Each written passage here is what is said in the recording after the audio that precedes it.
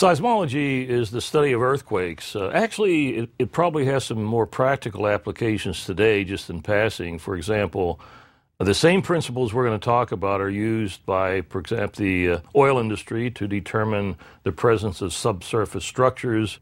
Uh, what they do is they generate their own shock waves, either by setting off some kind of a charge, or they have things called thumpers uh, that generate a shock wave that goes down to these subsurface structures and bounces back. But the, the equipment looks very, very, much the same as the equipment we're going to describe here. So let me describe, first of all, the difference between two instruments. There's a thing called a seismometer, and then there's a thing called a seismograph.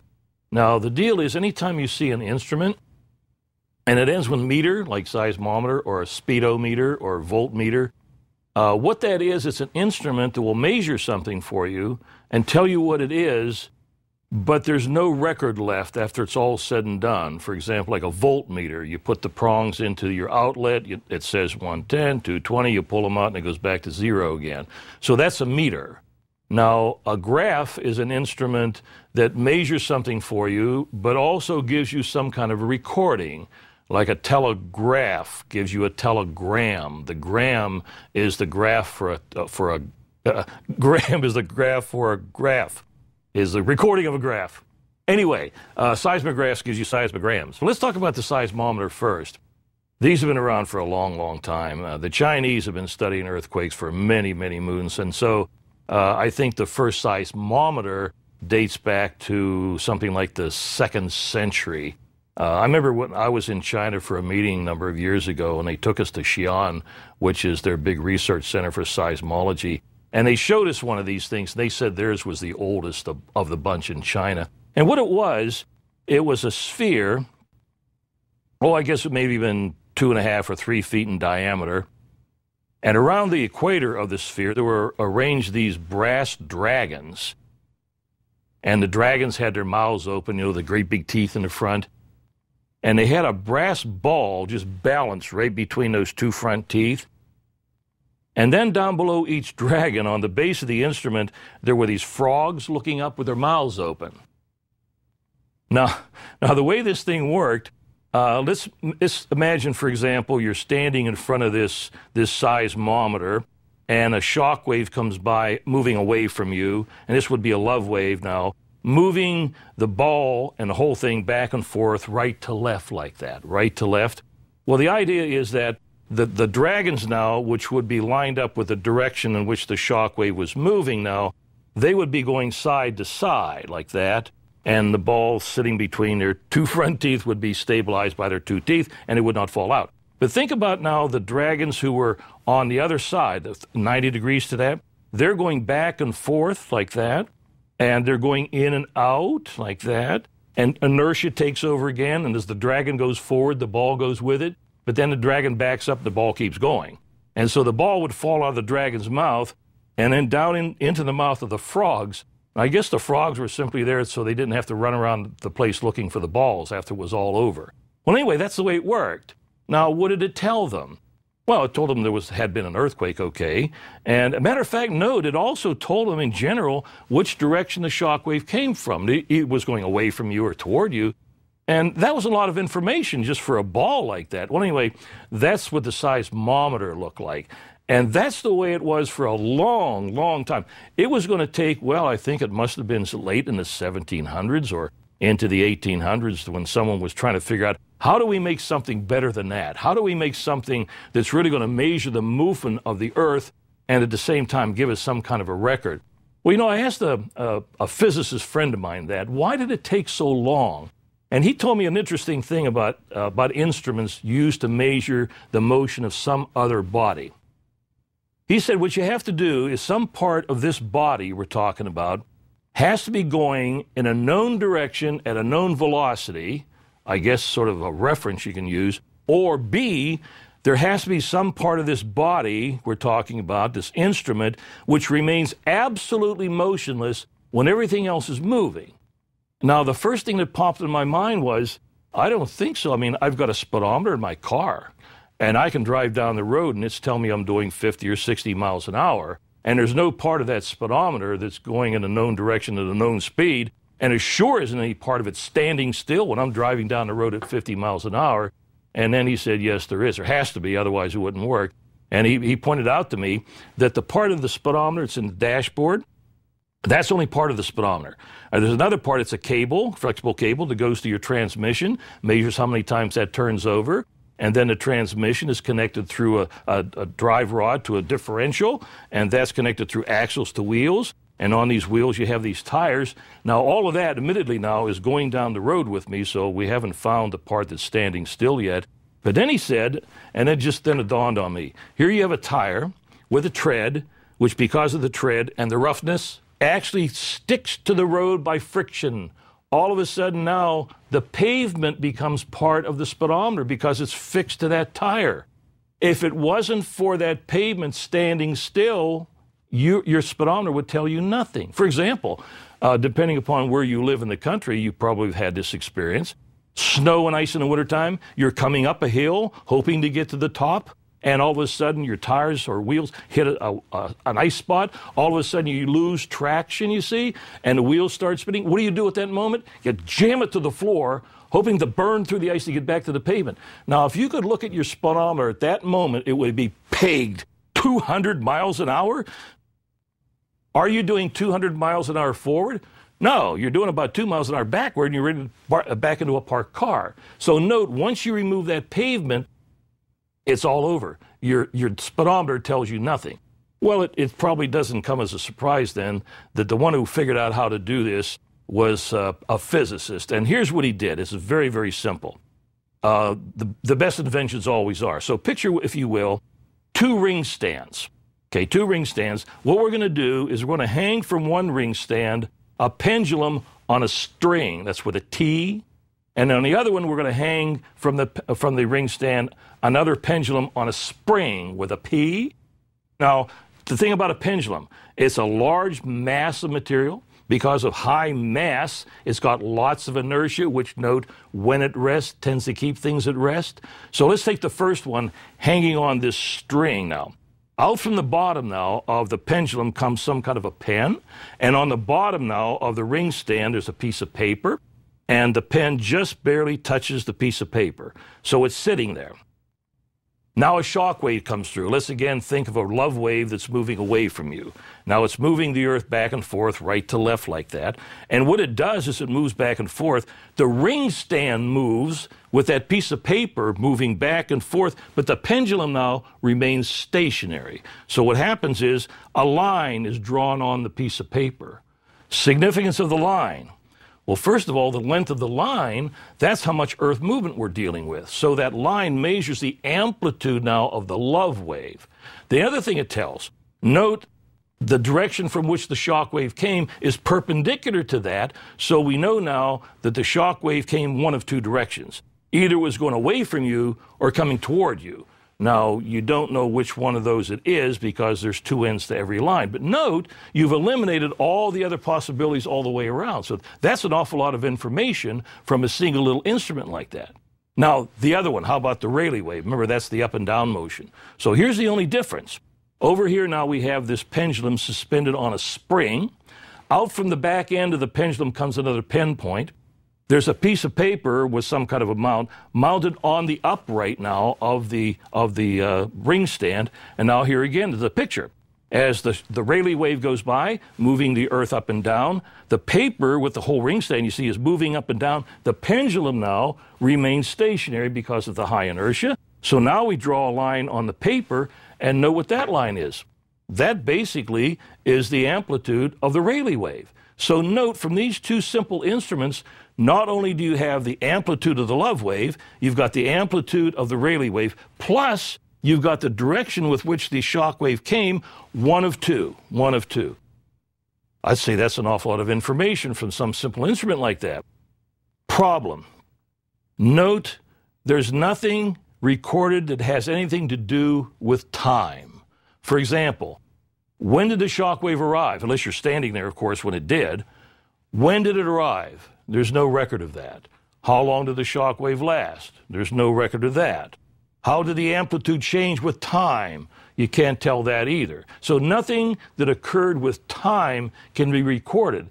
But nevertheless, that's a big, big step over the balls falling out of the mouths of, of dragons, you see. Okay, so where was it then? Well, that, that's the way it stayed for, well, actually, into the latter part of the 1800s, I guess.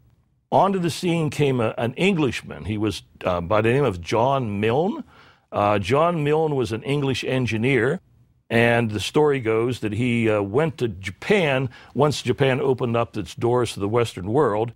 And of course, he was there in Japan that receives more earthquakes than anybody. They're sitting right, on the biggest zone of subduction there is, right offshore, you see. And so he was experiencing all these earthquakes. And he wanted to study these earthquakes. He knew about these two very simple instruments that had already been made. He knew about the shortcomings of them. And so he wanted to come up with an instrument that would actually record time. So here's all he did. This is actually pretty ingenious, too. He made an instrument where he suspended the pendulum not vertically, but on a bar. The pendulum was out at the end of a bar, suspended horizontally. The bar now could pivot back at the other end, so the pendulum could swing in a horizontal plane. Now, of course, the pendulum doesn't move. Remember, the pendulum stands still.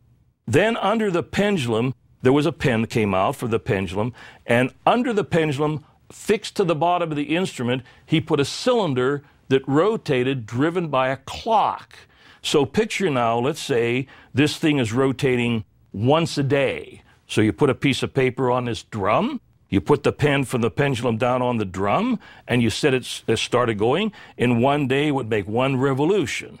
Now, if nothing happened during that day, you take the piece of paper off, and there's a straight line. Tells you nothing happened.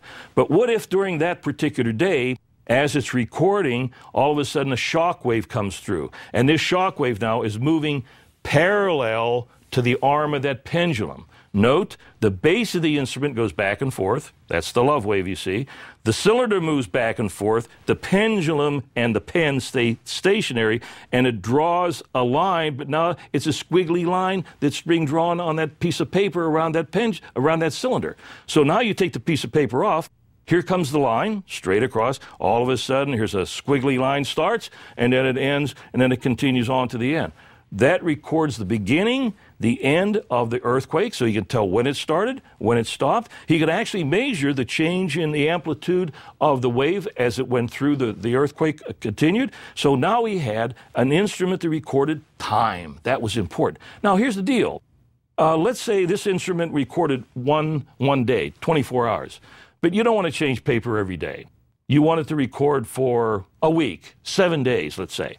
All right, so here's all you do the other thing, and this was the ingenious part about it, not only did he rotate this drum, but while it was rotating, it was moving sideways. We call that translation.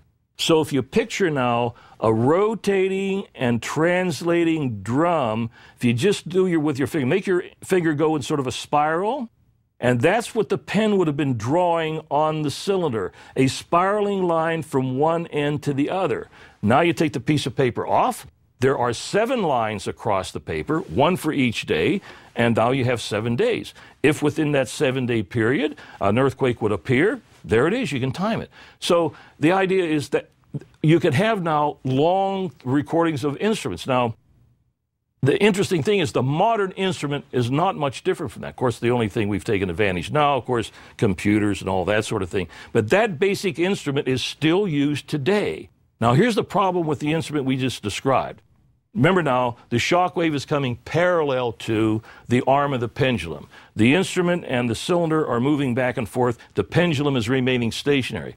What would happen now if the, let's say, the instrument was set in front of you, uh, sort of east west or right to left? Now the shock wave comes through, now away from you again.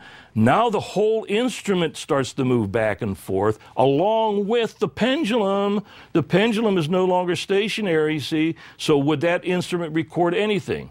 No, it won't.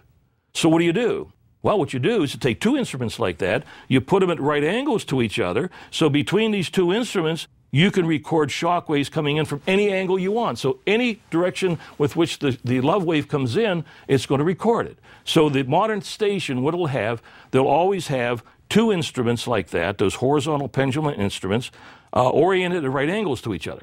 Well, what about the Rayleigh wave, the up and down one?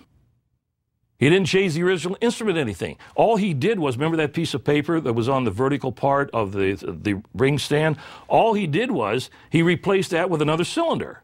And as the ring stand went up and down, the cylinder went up and down. It's rotating, it's translating. So in other words, he gets another time recording for the Rayleigh wave. So note now with these three instruments, two horizontal pendulum instruments at right angles to each other, and a vertical one, you can measure any shock wave coming in from any direction. You can tell when it arrives, when it stops. You can tell the change in wavelength during anything that has to do with time. Every modern, modern seismic station is like that. There are three instruments like that. Usually, a real modern station will have three sets of instruments like that that are really set for different frequencies, but we won't bother about talking about that. So, anyway, that's basically what the modern instrumentation looks like. Um, except the only difference, like I say, the modern instrument takes advantage of, of computers and all that kind of stuff. But the basic instruments are just the same. Okay, now here's an important thing, though. We're talking time here. We want to know exactly what time this, this shock wave arrived by clock, see? Well, here's the problem. The original instruments probably used some kind of a clock mechanism where you set it, and every time it hit a second, it put a little tick on the recording like that. So they were timed. But here's the problem with using clocks like that. Um, for example, if, if there are two of you in a room and you say, What time is it? and you look at your watch and you give a time, I'll guarantee you the person you're talking to will not have the same time on their watch. Why? Pretty hard to have two timepieces exactly the same. So, what we needed then was some kind of a timing mechanism that were every seismograph, maybe in the world not, but certainly uh, in the immediate area, in the United States anyway, is all ticking at the same time. And the way they do that uh, there's an atomic clock at Boulder, Colorado. That's where our big research center is for, for earthquakes. And there's an atomic clock there that sends a signal out by satellite. And every seismic station in this country, and I suspect, I probably figure in much of the world, is tuned to that clock. So note, everyone is ticking at exactly the same time. So now you can compare a trace from Denver, Colorado to one from Paris, France, or anywhere else you want because they're all timing at the same time. So that's very, very important as we'll see. Okay, so let's talk about a typical seismogram now, what the, what the record looks like. This piece of paper. Now, of course, it's on a CRT screen or actually stored in the computer. But anyway, what would it look like? Well, remember now, let's go back to our discussion of body waves and surface waves. And let's say we take just the simplest scenario. The focus is at the, at the, at the epicenter. They're both in the same place. We're talking a surface earthquake. Out from the, the body, out from the, uh, the uh, focus goes the body waves, and out from the epicenter goes the surface waves. But the body waves are faster. Remember, they're not moving the walk around very fast. They're 24,000 miles an hour. So, as far as getting to a distant station, the body waves will always arrive first, always arrive first. And then sometime after that, since they're slower, the surface waves will arrive. So that's going to be the fundamental part of this little drawing here, is that the body waves arrive first and then the surface waves. Now, the body waves, though, remember our discussion of the body waves. You got two kinds, P waves, the compression, and S waves, the shear waves. They're moving along the exact same path. Question, are they going at the same speed? Now, I wouldn't have asked the question if they were, no, they're not. One is faster than the other. Question which is the faster of the two? Well, it turns out that the P wave is faster than the S wave. Now, let me tell you how I've remembered that lo these many years. Think about those two waves. A shear wave, if the wave is moving away from you, let's say, the shear wave is moving things back and forth perpendicular to it, remember? So note, Neither of those movements right there are doing anything for making the wave go in the direction of propagation. But on the other hand, the P wave now, since it's moving back and forth and back and forth in the direction of propagation, at least half the time, energy is being spent moving in the direction of propagation. So I don't exactly know if that's why the, this, the velocities are different, but that's how I've remembered it lo these many years. So P waves are all going to arrive first, then S waves, and finally the, the, the surface waves are going to come in. So you look at a typical trace. Here comes a trace along. The first one is the P wave, the body P wave. Remember now, not much motion, so it's going to be very low in amplitude. And then sometime right after that, there's going to be the S wave come through. Again, not much motion because there's not much motion to the rocks. And then finally, the great big one, the one you always see sweeping across the chart, those are the surface waves that finally come in. Okay, what do you want to tell? You got a, you got a seismogram here. What do you want to tell from it? Well, one of the things you want to tell from it is uh, where was the focus? Where was the epicenter? And then how big was this earthquake? What was the Richter, Richter scale reading, let's say, at the epicenter? Can you do that? Well, yes, you can. So here's, here's the way it's done. Let's say we take, first of all, those body wave arrivals, the P wave and the S wave. Now, here's the deal. Uh, picture these as two racers uh, Racer P and Racer S, and just picture now a race between these two people running around a track. And we're going to make a plot now. We're going to plot time on the vertical axis versus distance on the horizontal axis. And let's say, first of all, let's plot, say, the racer P. So all we have to do is watch him and time him and make a plot of time versus distance. And if you do that, as he races along, time versus distance, you get a line, now uh, just a simple straight line, which describes that performance of the racer P. Now let's put on top of that the performance of racer S. Now remember, S is not as fast. So for the same time interval, he will not have gone as far. And then so if we keep doing that for, for racer S, you'll get another curve sort of diverging from zero, zero, rep- representing racer S. Note the thing is you got two diverging now curves. What does it really tell you? Well, for example, let's say you're watching the race. What it really says, as time goes on, we're talking about the vertical component now, as time goes on, what it really says is the distance between those two racers will increase. And you see that. You just watch them run around the track, and you can see right off the bat the P racer pulls away from the S racer, and the gap between them in distance gets bigger and bigger. Well, that's what this plot says. So note, besides that, it says that as the further they run, the further they go, the time interval between them gets bigger and bigger. See? So in other words, for any given distance, you can look at this chart and you can tell how far they would be apart in time. Well, let's say, for example, this was a marathon and you wanted to get to the start, but you couldn't find out you get the time and you didn't know where it started anyway. So you were just standing along the course someplace. And the first runner came by, runner P, and you started a stopwatch. And then rudder S came by and you stopped it. So you know the time interval now, the, the time interval between these two racers. Note if you have this plot, all you have to do is take that time interval now, find out where those two curves are separated by that time interval, drop right straight down to the bottom, and it says, oh, yeah, the race started back up about five miles ago. They've been running for five miles.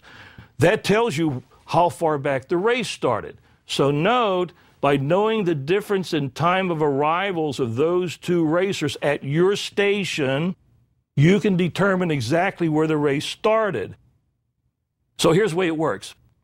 You take this seismogram. You determine the PS wave arrival times. There's a chart like that. Back in the old days, I guess they had it hanging on the wall.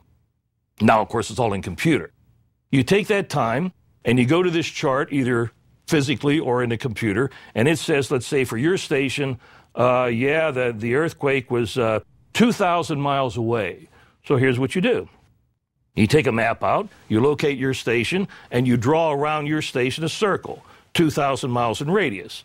Now, what you're saying is that earthquake occurred somewhere on that circle.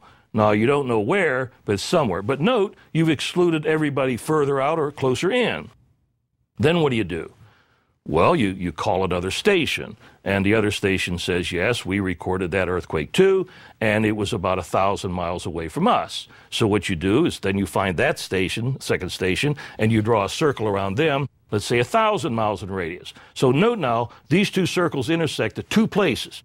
Those two places are the only two places that could possibly be, because those two places are the only two places that are 2,000 miles from you and 1,000 miles to the second station. But you only you still have two. Then what do you do? Pretty obvious. You call somebody else and you say, uh, "Did you record uh, an earthquake?" Is Yes. How far away from you? Uh, about 500 miles. So you find them and you draw a circle around them 500 miles in diameter or in radius, and where all three intersect, that's where it was. That you have located now with three stations, and that's the point. You have to have the recordings from three stations to figure out where it was. The more you have, of course, the more accurate you can de- determine it. Now, here's another point. Think about this one. If those three uh, circles intersect right on top of each other, meaning at a specific point, that means that's where the focus was. Because remember, that's what you're locating. That's where the focus was. It was a surface earthquake right at the surface. Remember, that's where most of them are. But what if the focus was actually at some depth? What if it was a, an intermediate focus earthquake below 40 miles or whatever? Uh, what would your, your plot look like? Well, think about that now. What it would look like, rather than all three of those circles crossing at a point, they would cross sort of and making a sort of a spherical triangle, you see? And the size of that spherical triangle is determined by how deep below the surface that focus really is.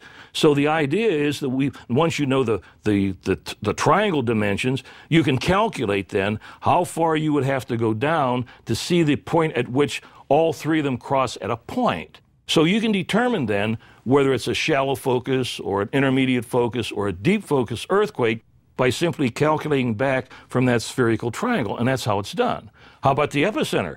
Well, the epicenter is always at the center of the triangle, regardless. So now, simply with the recordings from three stations, you can locate the focus of the earthquake, and you've got the uh, epicenter of the earthquake located. All right, well, what was the other thing we wanted to do? Well, what we wanted to do was figure out what was the Richter scale reading at the epicenter? How much movement of the Earth was taking place at the epicenter? Well, here's the deal. Uh, at the epicenters where the maximum amount of movement was taking place, either back or forth or up and down. But here's the point. As you go away along the surface, the actual amplitude of the shock wave decreases in a regular fashion. By that I mean probably in a mathematically calculable fashion, away in all directions. So, as a result of that, out there, someplace where you are, uh, the actual movement of the Earth is much, much smaller, but you can measure it. That's what the seismograph does. What what measures is that that surface waves that come through, that one that sweeps back and forth across. Now, this is every every instrument has its own calculations now. This is not you can't apply this to everybody, but when you buy an instrument, here's what they tell you. Take that amplitude on the seismograph or the seismogram and measure it probably in millimeters, and then they'll have a conversion chart that will say once you know what the amplitude is on your seismogram, you can calculate exactly what the actual motion under your feet was. Well, so note, if you can measure the actual motion out here, and if it decreases in regular fashion to that point, it would increase in regular fashion back to the epicenter. By regular fashion, again, I mean mathematically. So here's the deal. If you want to know what the amplitude was back there at the epicenter, all you have to do is to take that, that motion here, Knowing how far it was away, you can calculate what that actual amplitude was at the epicenter. Once you know that, then it's a simple calculation from there to calculate what the Richter scale reading is. So here's the deal. Those are all relatively simple calculations. And anytime you have simple calculations like that, you can make a nomograph. Now, what a nomograph is, is simply, for example, here's a plot, and on one side you have a scale where you take the PS wave arrivals, Okay, you plot that. That's the distance you see. On the other one, you measure the amplitude of your surface waves on your uh, seismogram, and that, of course, is the actual mo- movement there at your station. And you simply draw a line between one to the other. In between, there's a scale that says Richter scale reading. So you just read it right off. And so, note the point any station at all can determine what the Richter scale reading was. Any station can determine that. But determine where it was, that takes the records from at least three. And of course, the more you have, the better off you're going to be, and the more accurate your measurements are going to be. Now, one just last comment, uh, because we're always talking about predicting earthquakes. Well, I'm going to tell you right here and now, you cannot predict an earthquake. They're like um, volcanic eruptions. We know they're going to happen, just like I predict that you heard it here first. I predict the next major earthquake along the San Andreas is going to be in the southern area around Los Angeles. Why? They haven't had one down there for over 150 years, you see. So anything that's been that long it's got to happen down there. We just had one in 1989 up at the northern end. So I predict the next major earthquake is going to be in the Los Angeles area. When? I don't know. And see, there's the problem. Nobody can come up with an answer to the when's it going to be. And unless you can predict pretty much right on the money, nobody's going to listen to you. Who's going to listen to you if you said, I predict it's going to be somewhere within the next 50 years?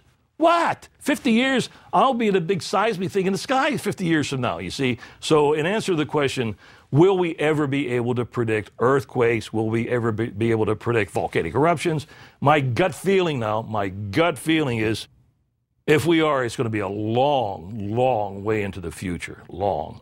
Uh, and for the foreseeable future, I would say no. Okay, so much for earthquakes and seismology.